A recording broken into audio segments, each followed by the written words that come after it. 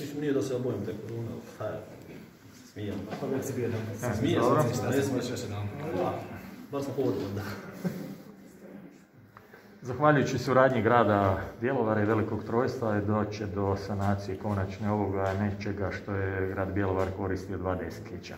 Tako je, započelo je 1970. godine na području bivše skupštine općine Bjelovar. Neopasni komunalni otpad odlagao se 20 godina do 1990. godine, zahvaljujući prije svega općine Veliko Trojstvo, ali i partnerskom suradnjom sa gradom Bjelovarom. Evo, konačno se kreće nakon toliki broj godina u sanaciju odlagališta Grbinaca.